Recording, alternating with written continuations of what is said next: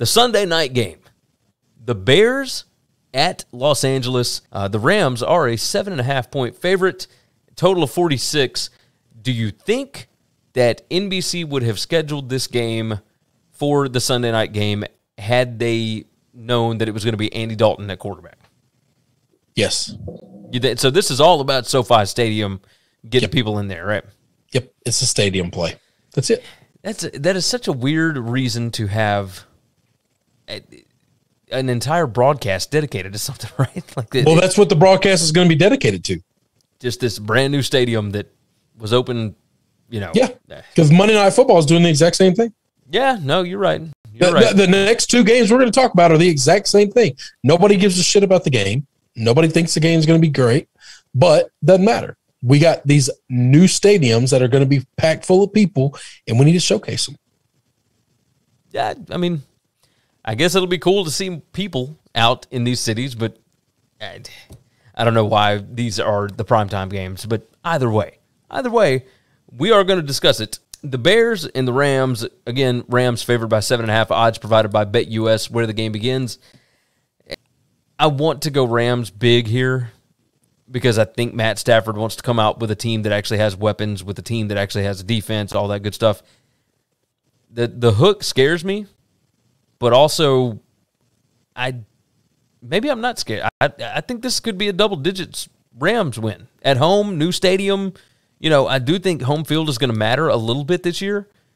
I I'm going to roll the Rams minus the seven and a half here. I I think think this team comes out with a little juice because of that home crowd and, and everything else.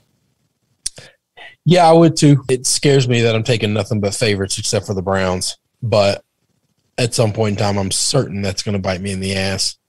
I, I, don't care. I'm not betting on this Bears team. They're all, this is this might be the worst offensive line in the league.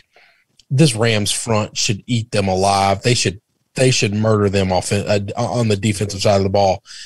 The other side of it, yeah, I think Sean. Here's what I think. I think reports that Jared Goff in in the Lions camp is really bad really mad. I I think Sean McVay is going to show the world how much he carried that team with Jared Goff at quarterback. Now, some of that's on him because I told you he's the one that went to the front office and fought for him to get a big gas extension. So that's that's on Sean McVay. That's not nobody else made him do that. True. But I think we're going to see Sean actually have a nice shiny new toy and he's going to let it out of the box and he's going to show it to the whole world. That's that's the way that I'm feeling about Stafford here. I think he's actually got a, a good team surrounding him for the first time since he was at Georgia, and and I think I mean obviously you know Stafford did play with good wide receivers. We get that, but like an entire team.